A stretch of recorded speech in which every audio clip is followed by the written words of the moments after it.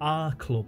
With an army of fans unlike any other, we're a family in this town, Tangerine sisters and brothers. We've been through some turmoil, seen highs and then lows, but the love for our club never wavers, just grows. This season's been a journey, Critchley leading the way, Yates bagging our goals whilst we kept oppositions at bay.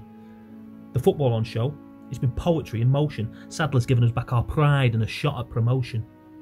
In playoffs, we don't chase records, we make them. So send us Appleton's Lincoln, they'll come with a game plan, we'll break them. The numbers will be lower at Wembley for sure, but in spirit we bring everyone so our voices will roar. We'll sing of our history, our hatred for neighbours, we'll play our hearts out, we don't need the ref's favours.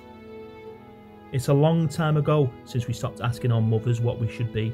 We went down to Bloomfield Road instead just to see. The songs sang poured through us, filled our hearts and our minds, collective perfection got us through so many times.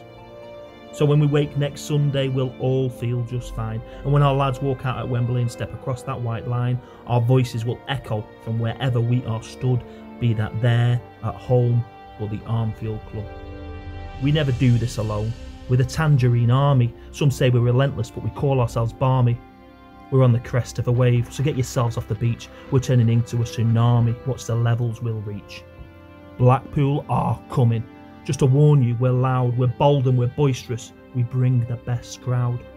Our club redirected, led now only by passion. So just a heads up, Tangerine's back in fashion.